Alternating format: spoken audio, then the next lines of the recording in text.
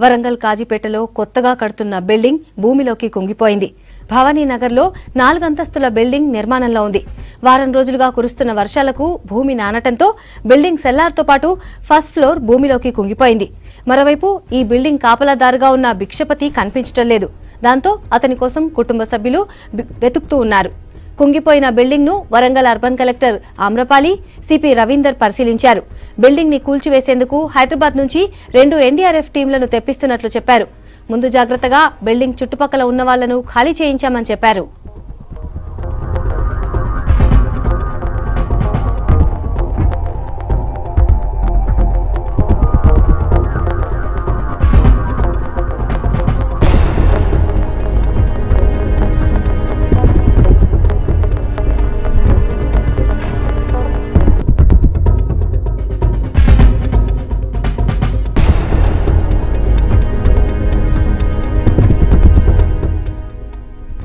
వరంగల్ కాజీపేటలో కొత్తగా కడుతున్న బిల్డింగ్ భూమిలోకి కుంగిపోయింది.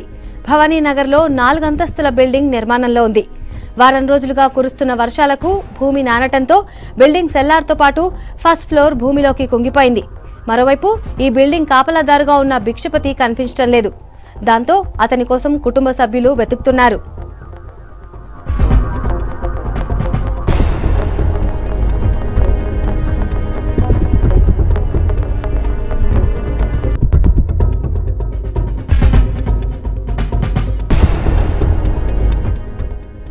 కుంగిపోయిన బిల్డింగ్ను Warangal urban collector Amrapali CP Ravinder పరిశీలించారు.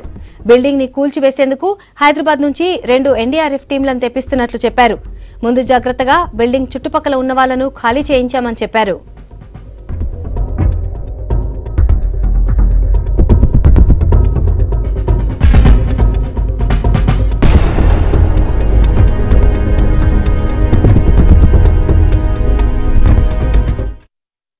ఫోకస్ ఏంటంటే ఆ బిల్డింగ్ని సేఫ్గా ఇప్పుడు యూనో సెమీ డిస్మాంటిల్ చేయటం. ఇప్పుడు సెమీ కొలాబ్ స్టేజ్లో ఉంది కాబట్టి డిస్మాంటిల్ చేయటం.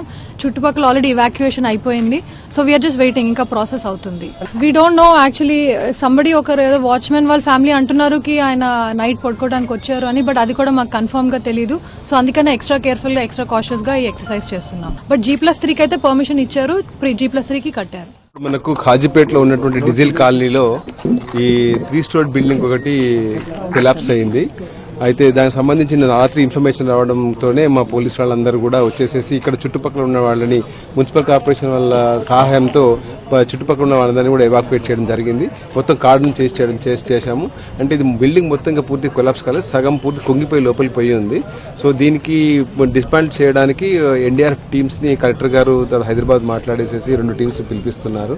సో దాని ప్రకారం అది వచ్చిన తర్వాత చేయడం జరుగుతుంది. అయితే కింద ఎవరైనా ఉన్నారనే విషయంలో ఒక వాచ్మెన్ జనరల్గా నైట్కి పడుకుంటాడంట. అయితే వాళ్ళ ఫ్యామిలీ వాళ్ళు ఆయన కనబడట్లేదని చెప్తున్నారు. దాని ప్రకారం ఏంటంటే ఇప్పుడు టోటల్గా ఎన్డీఆర్ఎఫ్ టీం వచ్చిన తర్వాత దాన్ని జాగ్రత్తగా కొలాప్ చేయడానికి చూసి ఆ అమ్మ ఎవరైనా ఉన్నారో చెక్ చేసిన తర్వాత అది కొలాప్ చేయడం జరుగుతుంది. ఒకవేళ అట్లాంటిది ఏమైనా జరిగితే డెఫినెట్గా ఎవరైతే ఈ బిల్డింగ్ కడుతున్నారో ఆ ఓనర్ మీద లీగల్ యాక్షన్ తీసుకోవడం జరుగుతుంది.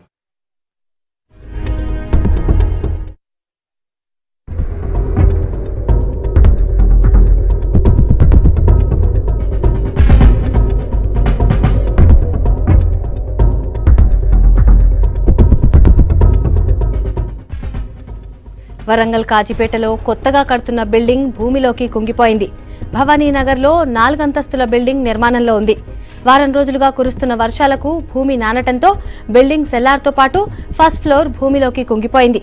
మరోవైపు ఈ బిల్డింగ్ కాపలాదారుగా ఉన్న భిక్షపతి కనిపించడం లేదు. దాంతో అతని కోసం కుటుంబ సభ్యులు వెతుకుతున్నారు.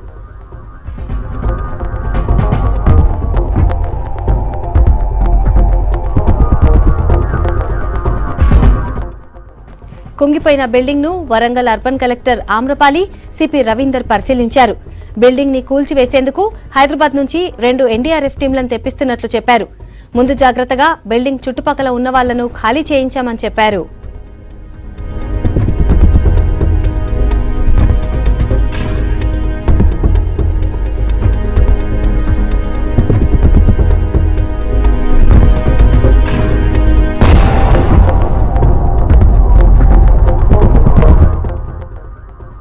ఘటనా స్థలం నుంచి మరిన్ని వివరాలు కృష్ణమోహన్ అందిస్తారు. Krishnamohan over to you.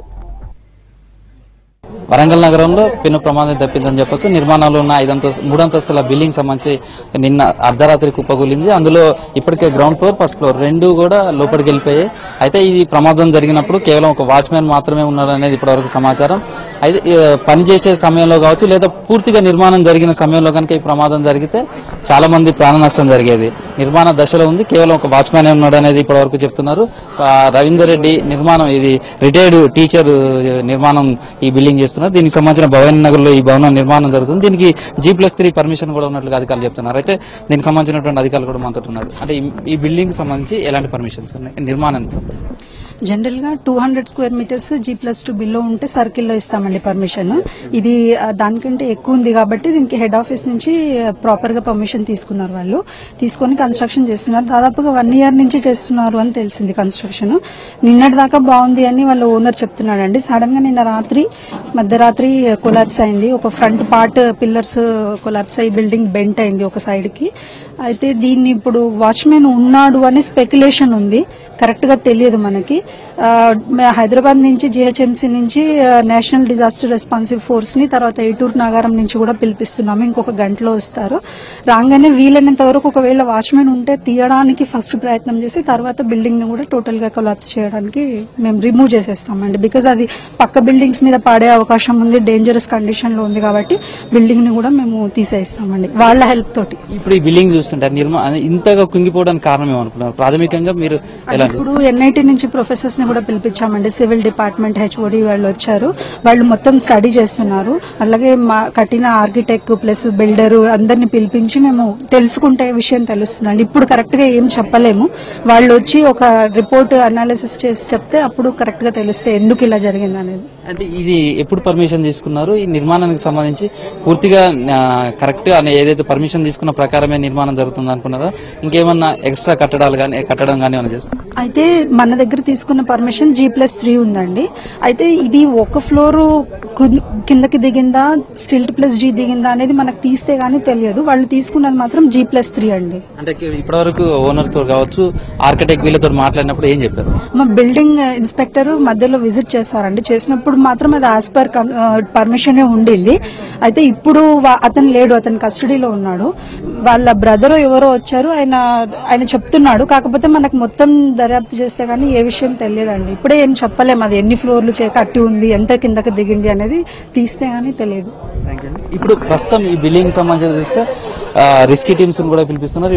Watchman అందులో ఉన్నారు అనేది మాత్రం అనుమానాలు వ్యక్తమవుతుండడం వాళ్ళ కుటుంబ సభ్యులు కూడా అనుమానాలు వ్యక్తం చేస్తున్నారు. దీంతో అతన్ని బయటికి తీసే ప్రయత్నం చేస్తాము. ఆ తర్వాత అతను ఉన్నారా లేదా అనేది నిర్ధారించిన తర్వాత ఈ బిల్డింగ్ కూలగొట్టేస్తామని చెప్తున్నారు. వన్ ఇయర్ నుంచి ఈ నిర్మాణం కొనసాగుతున్నట్లుగా మాత్రం తెలుస్తుంది. వన్ ఇయర్ క్రితం ఇది జీ ప్లస్ త్రీ కింద పర్మిషన్ తీసుకున్నారు. ఇప్పటి ఇప్పటివరకు చూస్తే ఇది గతంలో ఇక్కడ ఒక పెద్ద బావి ఉన్నది అనేది మాత్రం చెప్తున్నారు స్థానికులు. ఇంకా ఈ పైనటువంటి బిల్డింగ్ సంబంధించినటువంటి దాంతో ఒక పెంట్ హౌస్ మాత్రం అనుమతులు లేకుండానే నిర్మించారని చెప్తున్నారు. ఇక్కడ కింద ఒక రెండు ఫ్లోర్లు ఇప్పటివరకు అంటే గ్రౌండ్ ఫ్లోర్ ఫస్ట్ ఫ్లోర్. ఈ రెండు ఫ్లోర్లు లోపలికి కుంగిపోయాయని అని చెప్తున్నారు. పక్కన ఉన్నటువంటి బిల్డింగ్స్ కావచ్చు మిగతా వాళ్ళందరినీ కూడా ఇక్కడ నుంచి ఖాళీ చేస్తున్నారు. హైదరాబాద్ నుంచి ఒక టీం అదేవిధంగా ఏడు నగరం నుంచి ఈ రిస్క్ టీమ్స్ సంబంధించినటువంటి బృందాలు ఇక్కడికి చేరుకున్న తర్వాత లోపల ఉన్న ఒకవేళ లోపల ఆ, ఈ దీనికి సంబంధించినటువంటి వాచ్మెన్ ఉన్నాడా లేడా అనేది పూర్తిగా నిర్ధారించిన తర్వాత ఈ బిల్డింగ్ పూర్తి నేలమట్టం చేస్తారని చెప్పి అధికారులు చెప్తున్నారు. ఇది ప్రస్తుతం వరంగల్ నగరంలో ఉన్నటువంటి బిల్డింగ్ సంబంధించిన తాజా సమాచారం. Camera క్రాంతికుమార్తో Krishnamohan V six news Warangal.